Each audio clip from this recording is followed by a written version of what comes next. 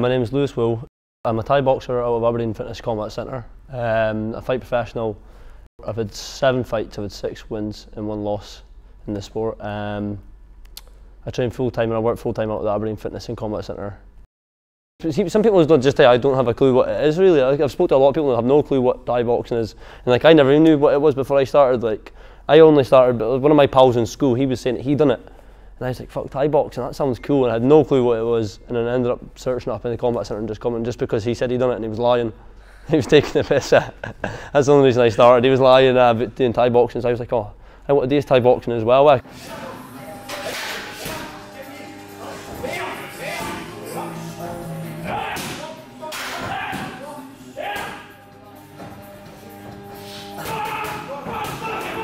Uh, my job is um, I'm the head coach for the kids fight team in the combat centre. So I do all the kids classes and like teach all like so if any of the kids are fighting, I'll take them for pads and I hold pads from getting ready for their fights. And um, I'm also a personal trainer, so I do all the fitness PTs like pads and stuff for everybody wanting to learn how to Thai box.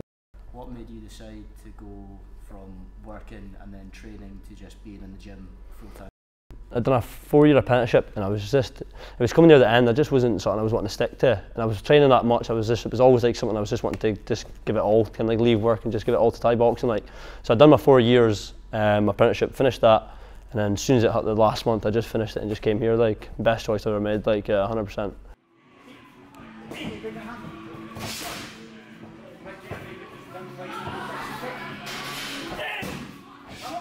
How did your first fight come about and how did it go? Um, I got offered a fight on a MTB show four years ago. Um, Keith, the head coach Keith, messaged me just to an opponent in four fights. I think he had four fights, four wins and three losses. But my coach Owen at the time, he said it was like no, but he said he watched the boy and it'd be all right and just go in and just fight him, Ken. Uh, so I got that and won on points. A close fight. It was just like a like a close first fight. Yeah, it was good. What experience did you take away from your first fight? I was just hungry just to get back. And again, like first one, like you can't really remember much from the first fight. You just go in and you just you're, you're at like um, autopilot. Yeah, autopilot. You just go straight and just fight. And you, you, it's over before you started, can, and then just get right back in for a second one, and then you start enjoying it. What's like your favourite thing about Muay Thai? Um, probably just the gym. But just being in the gym it keeps you healthy, healthy minded. Being in the gym all the time, like it's better than like like the same old life, nine to five, get home and sit and do nothing. Can like it's better being here all the time. Everybody's like happy, and it's just you meet some new friends. That just the gym in general, like yeah.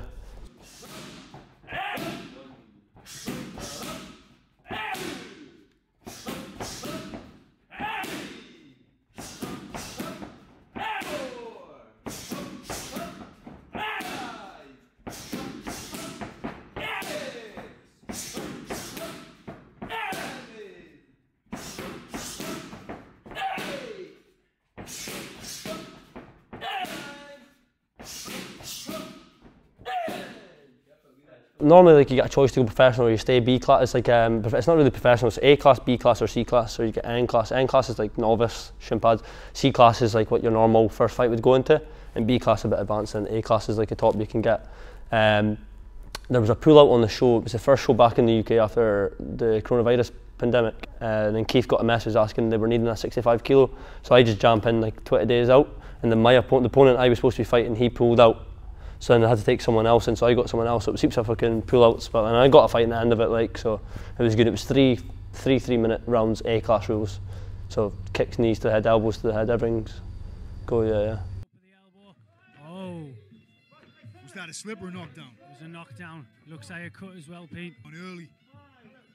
Looking to intimidate with those elbows. Yeah. He knew that, that aggressive energy that he brought. Yeah, straight in, lovely right hand from Will there. Slip from Patterson there. Will seems to have calmed down a little bit now. Oh, spoke too soon. Long knee and elbow from Will there. Another elbow. Calm that pace down. Teep from Will. He's looking for that elbow again. Oh, big elbow from Will there. That was a big Another count. Back to it. Low kick from Patterson, followed with a body kick from Will. Good knee there from Pat, uh, Will. Oh, that caught him hard. That caught him as he squared up the throw. Very low. I think that's a referee called it off.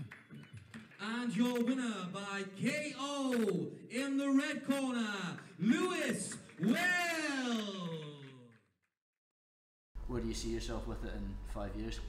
Five years, yeah. I'll hopefully definitely be a UK top ten in five year. Like, yeah, yeah, definitely. Like, just like it, it's hard. Like my weight, is like the weight I'm in is now sixty three point five is hard. Like it's a hard division. You have to get into break into. Like you just need experience. Not a lot of the guys are experienced. So I think I just need to build up my experience. Just see what it takes.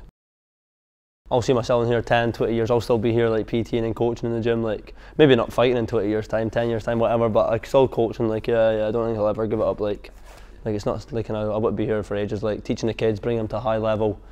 I compete myself, fight until a high level. I want to fight in Thailand. Yeah, I'd love to fight in the stadiums as well. Like that's something I'd aim for. Like Who do you credit a lot of your success to? um, just the guys in the gym, everybody in the gym, uh, like Pete, Keith, Dan, like they do a lot of like work for you. Like like everybody as a whole. It's hard to like really say one person. Like same with Chris Farman, the boss man of the gym. He does heaps for everybody in the gym. Can like all the fighters and that. Like he always helps shoot if you need stuff and that. Always make sure you're looked after.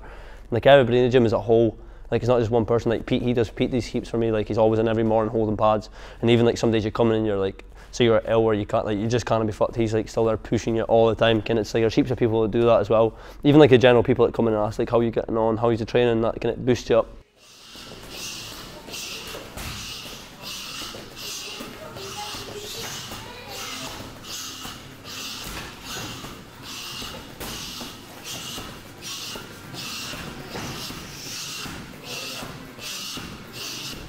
How are you feeling for your uh, upcoming fight? Yeah, good. Yeah, I always feel good for every fight. Like I always train hard, so I always like mentally. I always say like if I train as hard as I can, this guy can't be training harder. There's no possible way he can be training harder than me. And hard work beats talent. So, kind of like I'm always strong minded on that. Like, yeah, hundred percent. Like just going and fucking wrecking man.